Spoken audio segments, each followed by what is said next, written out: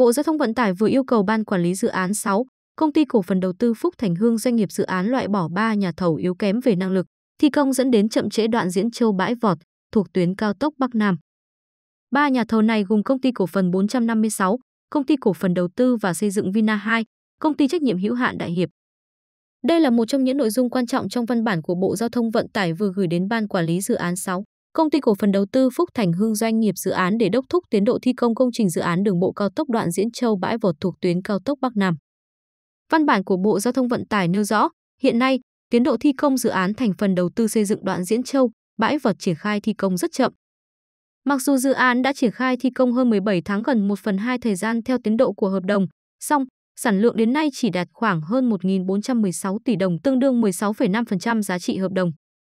Văn bản nhấn mạnh, đây là dự án thực hiện theo hình thức hợp đồng BOT và là dự án trọng điểm quốc gia. Bộ Giao thông Vận tải yêu cầu các chủ thể tham gia thực hiện dự án cần nhận thức rõ trách nhiệm, quyền hạn của các bên liên quan trong công tác quản lý, điều hành để triển khai thực hiện, đảm bảo tiến độ, chất lượng. Đối với nhà đầu tư doanh nghiệp dự án, Bộ Giao thông Vận tải yêu cầu phải khẩn trương chỉ đạo các nhà thầu huy động nhân lực, máy móc, thiết bị, bổ sung đủ các mũi thi công trên công trường theo đúng kế hoạch. Tranh thủ thời tiết thuận lợi, chỉ đạo các nhà thầu làm tăng ca để bù lại tiến độ bị chậm. Bộ Giao thông Vận tải cũng chỉ đạo nhà đầu tư trên doanh nghiệp dự án phải kiên quyết loại bỏ các nhà thầu yếu kém về năng lực ra khỏi dự án. Đồng thời, cân đối khối lượng của các nhà thầu có tiến độ thi công chậm hoặc trong quá trình phân chia gói thầu còn trồng chéo để xem xét điều chỉnh cho các nhà thầu khác thi công nhằm đảm bảo tiến độ yêu cầu. Bộ Giao thông Vận tải cũng yêu cầu doanh nghiệp dự án tập trung kiện toàn bộ máy quản lý, điều hành. Chỉ đạo các nhà thầu lập lại tiến độ thi công tổng thể, chi tiết các hạng mục theo mốc tiến độ hoàn thành tháng 5 năm 2024 để phê duyệt làm cơ sở để quản lý, theo dõi. Khẩn trương chỉ đạo các nhà thầu thi công đồng loạt ngay các hạng mục nền đường, cống thoát nước, đặc biệt là hạng mục thi công nền đất yếu. Chỉ đạo nhà thầu công ty trách nhiệm hữu hạn Hòa Hiệp khẩn trương huy động thiết bị máy móc triển khai thi công cửa Nam hầm Thần Vũ và thi công, hoàn thiện hạng mục cải mương đoạn KM469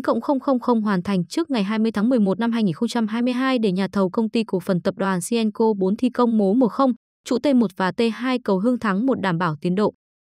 Bộ Giao thông Vận tải cũng yêu cầu doanh nghiệp dự án khẩn trương phê duyệt toàn bộ hồ sơ bản vẽ thiết kế của dự án để triển khai thực hiện.